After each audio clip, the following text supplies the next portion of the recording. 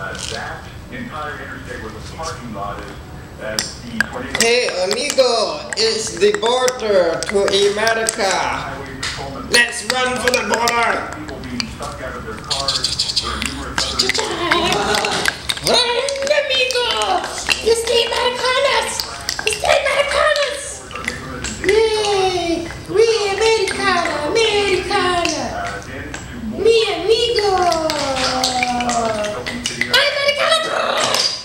but there are two storms now that are still active. They're